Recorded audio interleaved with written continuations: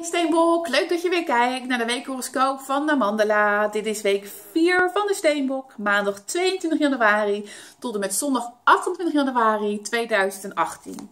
Als ik de kaarten schud om te kijken wat deze week staat te wachten voor de Steenbok, dan trek ik daarbij de volgende kaarten. De zon, de schildknaap van staven en de 7 van pentagrammen.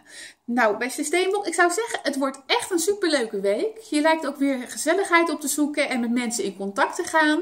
Uh, je krijgt bericht eigenlijk uh, een beetje halverwege de week over zaken waar je eigenlijk al een tijdje mee bezig bent.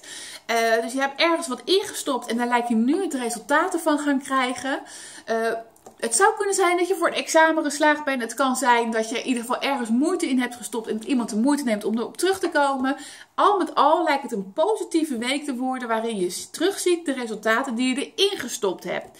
En dan wel op een positieve manier. Dus nou goed, ik ben heel benieuwd wat dat voor jou te betekenen heeft. En ik hoor dat ook graag terug. En uh, ik zie jou natuurlijk graag volgende week weer terug. En ik hoor ook graag wat je van deze week horoscoop hebt gevonden. In ieder geval, een super fijne week.